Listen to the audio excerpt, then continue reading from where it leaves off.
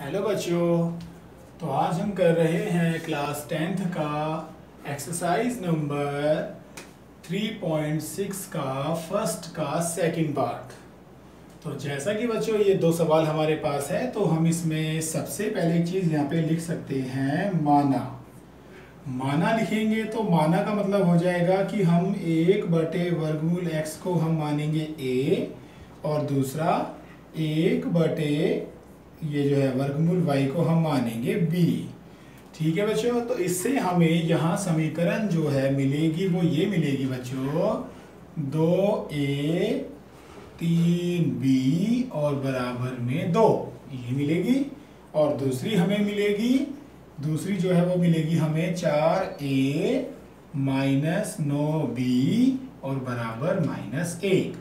तो ये मिलेगी बच्चों हमें यहाँ पे तो इसका मतलब जो है, ये होगा कि अब हम करेंगे, उनको यूज़ करेंगे, ठीक है बच्चों? तो ये हमारी जो है सवाल, अब ये वाला यहाँ से इसको मिटा के अब हम यहाँ से अपना ये वाली जो रकम है, इनको लेंगे, ठीक है बच्चों? तो इनको लेना है हमने यहाँ से। सबसे पहले हमारे पास जो ये रकम आई है, पहली जो रकम है वो आई है दो ए, दूसरी जो रकम है वो आई है तीन बी, और बराबर में आया है दो। दूसरी जो रकम है वो है चार ए माइनस नौ बी और बराबर माइनस एक। तो इसमें क्या होगा बच्चों? इसमें कोई विधि का नाम अगर आपको नहीं दिया गया है तो आप इसको यहाँ पर सिंपल विधि जो होती है, वो होती है विलोपन विधि। तो आप इसको विलोपन विधि से कर सकते हैं। विलोपन विधि। सबसे पहले इसमें क्या काम होता है कि इसमें हमारी फ़र्स्ट रकमें दोनों आती हैं सेम तो चाहे तो देखो, ये भी आ सकती हैं, लेकिन अगर ये ही करते हैं, वैसे तो ज़्यादातर हम।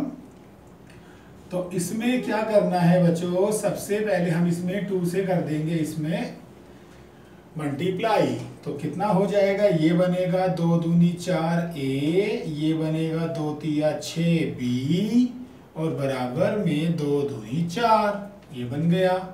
उसके बाद यहाँ पर ये आ जाएगा चार ए माइनस नौ बी और जी बराबर में माइनस एक। अब इनके साइन चेंज करने हैं हमने। अगर ये प्लस का है तो माइनस का माइनस का है तो प्लस का और माइनस का है तो प्लस का। अब देखो, ये प्लस का, ये माइनस का दोनों कैंसिल और नौ और छः कितने हो गए हैं बच्चों? नौ और छः हो गए हैं, पंद्रह बी हो जाएगा। और यहाँ पे चार और एक पाँच हो जाएगा। ठीक है बच्चों? तो यहाँ से अब हमने बी को बाहर निकाल लिया है। तो ये हो जाएगा पाँच बटे में कितना चला जाएगा? पंद्रह। तो ये हो जाएगा पाँच एकम पाँच और पाँच दिए पंद्रह। तो बी का जो मान है बच्चों, वो हमारे पास आ गया है एक बटे तीन। तो यहाँ से हमको बी मिल चुका है एक बटे तीन। अब इस बी को हमने जो है रखना है किसमें? फ़र्स्ट या फिर अपना सेकंड में भी इसको रख सकते हैं। तो किसी में भी रख सकते हैं। तो हम इसको रख देते हैं, अपनी सेकंड रकम में रख देते हैं। तो सेकंड में रखते हैं तो देखो हमें क्या मिलेगा। तो सेकंड रकम में रखते हैं अगर हम बी की वैल्यू तो सबसे पहले बच्चों हमारे पास है चार ए नौ बी माइनस का एक। अब क्योंकि b की वैल्यू हमारे पास है बच्चों तो इसका मतलब 9 गुणा में b की जगह पे हम रखेंगे एक बटे तीन, बराबर माइनस एक। तीन से नौ कैंसिल हो जाएगा, तीन तिया नौ, ठीक है बच्चों? तो कट जाएगा ये इससे तो चार ए माइनस तीन माइनस एक आ जाएगा। फिर उसके बाद हमने क्या करना है? यहाँ पे पहले चार ए ये जो तीन है, इसको यहाँ ले जाएँगे।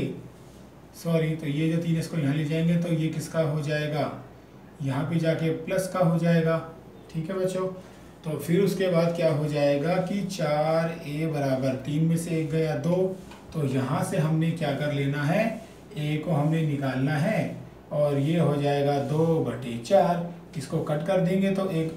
तो यहाँ पे आ जाएगा ए बराबर एक बटे दो आ जाएगा। ठीक है बच्चों? तो ये मिल गया हमको यहाँ से ए ए और बी मिल गया है। अब हमारा काम क्या है बच्चों इसमें? तो अब इसमें हमारा काम है बच्चों कि जो हमारे पास वैल्यूज़ आई हैं, वो वैल्यूज़ कौन सी हैं? सबसे पहले हमारे, हमने जो यहाँ पे माना था कि एक बटे under root under root x को हमने माना था ए जो हमारे पास आया था एक बटे दो। ठीक है बच्चों? और दूसरा जो हमारे पास आया था एक बटे वर्गमूल वाई कि जिसको हमने बी माना था, वो था एक बटे तीन। तो इस तरीके से अब इसको आगे देखो, हमने क्या करना है? तो आगे इसको, चाहे तो देखो आपका आंसर ये भी हो सकता है। चाहे तो आप इसको अपना, इसको भी आंसर लिख सकते हैं, लेकिन अगर आप इसको आगे ये जो हल करना चाहें तो इसमें आप इसको ऐसे कर सकते हैं, इसके नीचे एक लगा के यहाँ पे ऐसे कर देंगे क्रॉस मल्टीप्लाई तो ए की वैल्यू हमें मिल जाएगी। यहाँ पे नहीं नहीं, एक बटे दो ही मिलेगी तो हम चाहें तो हमारा आंसर ये भी हो सकता है, बच्चों। तो इसमें हमारा आंसर ये आ जाएगा ए बराबर एक बटे दो और बी बराबर एक बटे तीन। तो ये है बच्चों हमारा आंसर डन